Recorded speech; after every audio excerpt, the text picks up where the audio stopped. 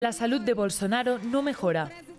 Después de haber pasado casi tres semanas en cuarentena contagiado de COVID-19, el presidente dice sentirse debilitado por esta infección, aunque no dio más detalles.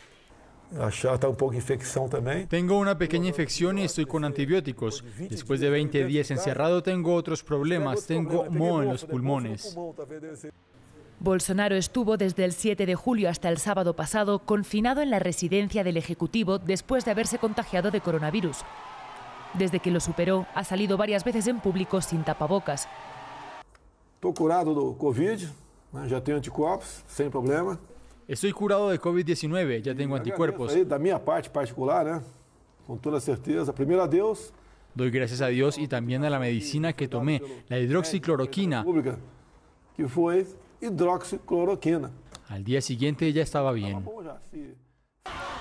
A pesar de haberse recuperado de la enfermedad, parece que el COVID-19 se sigue cercando alrededor del mandatario brasileño.